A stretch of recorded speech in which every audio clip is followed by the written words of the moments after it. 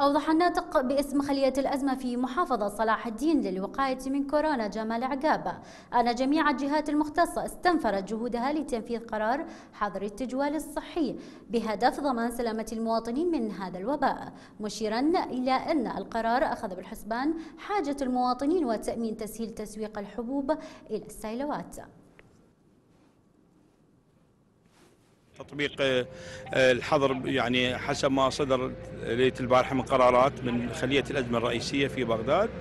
وصلاح الدين حقيقة القوات الأمنية والتعاون مع الشرطة المجتمعية ومع رجال الإعلام آه، يقومون الآن بدورهم آه، توعوي من خلال يعني داخل السيطرات كيفية ارتداء يعني المواطن الكمامة والكفوف ويعني اتخاذ الإجراءات الصحية الصحية الموجودة في عموم العراق واللي تجنبنا من هذا الوباء، هذا الوباء حقيقة بدأ ينتشر في آه، بغداد وبالتالي انعكس سلبا على المحافظات المجاورة لبغداد، صلاح الدين هي أيضا هي ضمن المحافظات اللي آه، آه، محاددة لبغداد وممكن أن تصل إلينا الإصابة، هذه الإجراءات حقيقة قد تكون بها يعني نوع من المضايقة للمواطن لكن هي يعني بالصب مصلحه الناس والمواطنين بعموم المحافظة وهي الحفاظ عليهم من خلال عدم وصول الوباء آه، إلى آه، إلى المحا... إلى أقضية ونواحي المحافظة.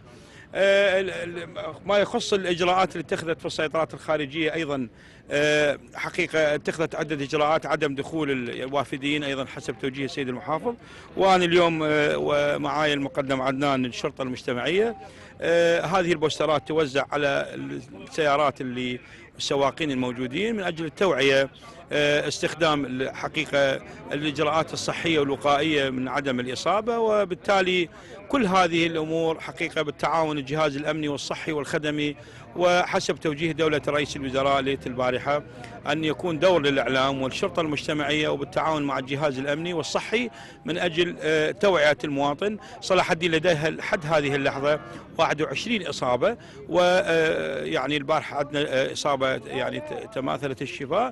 تسع حالات هي غادرت المستشفى. آه، لدينا 11 إصابة موجودة في آه، يعني راقدة تحت العلاج. من المحتمل اليوم أو غدا سوف تغادر يعني يتمثل آه، تتماثل الشفاء يعني قسم تلك الإصابات. بناء على التقارير الطبية الموجودة والاتصالات اليومية مع الأطباء حالتهم بدأت تتحسن. آه، نتأمل أن تكون إجراءات تطبيق الحظر بشكل جيد. الإجراءات حقيقة اللي أو التعليمات اللي صدرت هي نفس التعليمات.